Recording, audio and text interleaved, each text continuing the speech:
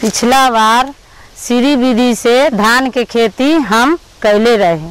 हम सामान्य विधि के छोड़ के सीरी विधि से खेती करे के लिए चिंतित रहे। तब हम सोचली कि सीरी विधि से एगो खेत में कोना पर करके देखे जब हम सीरी विधि से खेती करे के लिए शुरू कैली, तबे लागल हमरा जे समान विधि से अलग न है।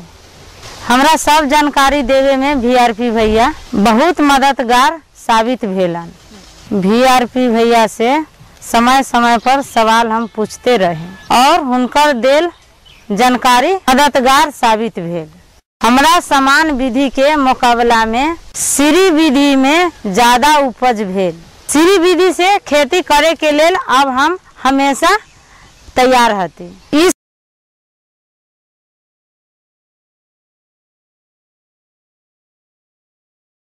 साल फिर हम श्री विधि से खेती करम।